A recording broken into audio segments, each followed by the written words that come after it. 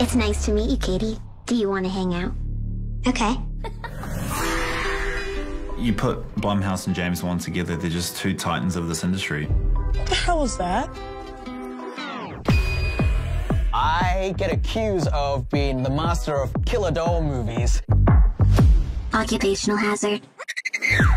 James Wan is a legend in the horror genre. Are you sure?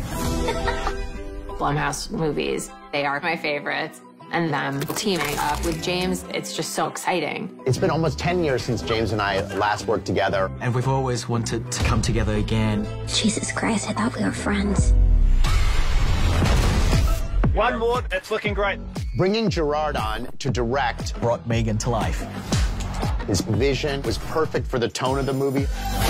He is terrific at balancing horror. This really dark humor. Have I done something to upset you, Gemma? I know you think you're maximizing your objective function. Oh, really? I think people are going to have a blast when they see this film. The idea of Blumhouse and James Wan teaming up is just great for horror movies. It's a real powerhouse duo, and it's exciting to see what they'll come up with next.